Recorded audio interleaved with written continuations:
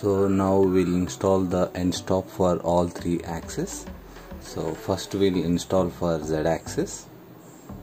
Then uh, we will install for other axis. So um, this one I'm going to use it for z axis. So uh, this have a T-nut so that I can install on 3030 uh, aluminum extrusions. So that it will come and it will hit so that this switch will be activated. So let's see that first. Then we'll install other axes okay. So I just mounted this on this 3D printed part. Okay. So let's see how to install. So this will be installed here. So with the help of this T-nut we can install. Okay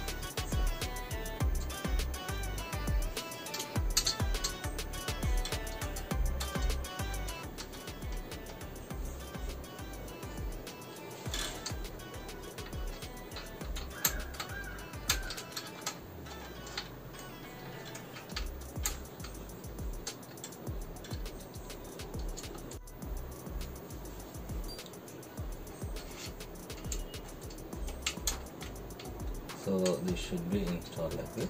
Later you can adjust the height and all okay?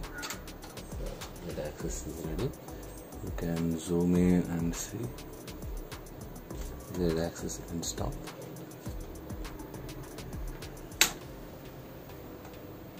okay so we can adjust this. Okay? So now the axis is completed so now we need to work on x-axis for x-axis we need this 3d printed part.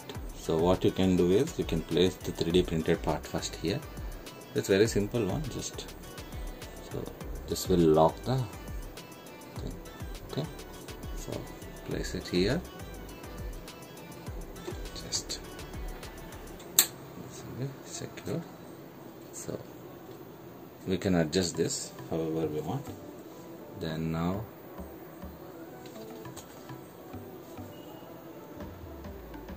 okay. Now we need to place this one here.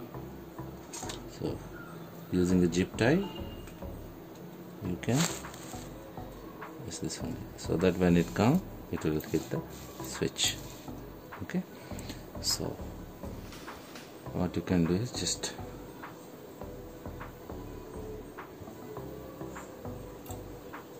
you can adjust anyhow this you can remove it. Take this and take it through this one. Okay. So here you can see there will be a hole. You can use that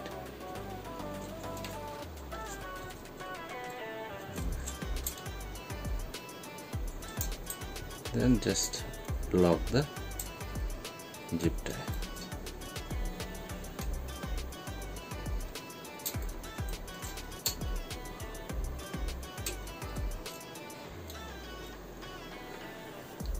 So that this end stop will stay there. Okay I will do this one and I will come back. So I installed the zip tie so now you can see here I didn't cut the end so you can see here.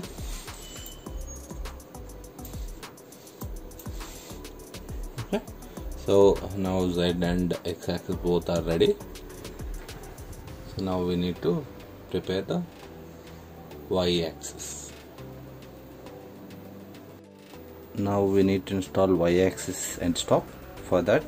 Uh, we have to rotate. This is this is the front portion of the 3d printer. So we need to place the end stop in the end means back side. Okay so i did one change. Is like earlier the y-axis motor is here. So what i did is i just shuffled. This tensioner i just shifted from there to here. And this motor i just send it there. Okay so that is the only change. You if you want you can keep it in the same way. No problem. No issues. The way it is working it's same so what I did is just I replaced the means I just shuffle the motor to this tensioner tensioner to motor. That's it. Okay. So we have to go back side of the 3d printer. So this is where uh, the motor is.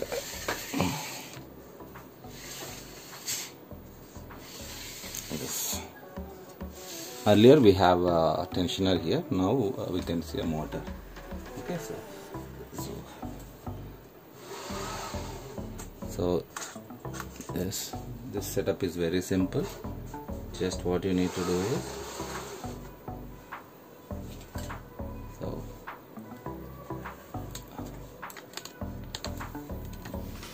so this will be placed here. Then zip tie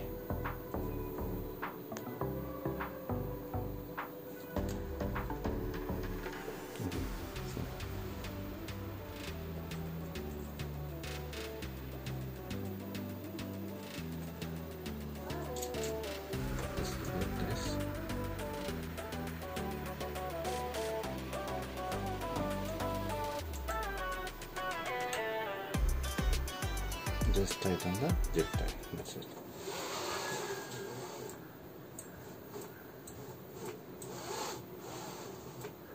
You can hear the sound. Okay, so that's it. Just tighten this. Then uh, I'll be back. so yeah this is ready now so it is have tension so if you want you can just tighten this little more if you want you can add additional zip tie to cover from here to here. For timing i'm not doing it. It's fine. So when this comes you can hear the sound. Yeah. So maybe later i'll do something for this. But it's a very easy setup so no need of extra and complex part. So it's enough. Okay. So now our x y z axis end stops are ready. So in the next step what we will do is just we need to connect things to main board. So z axis x axis and y axis so it's ready. So just we have to give connection to the main board. Then 3d printer is ready for operational okay? So in the next video we'll see how to connect the connections from motherboard to different motors. Thank you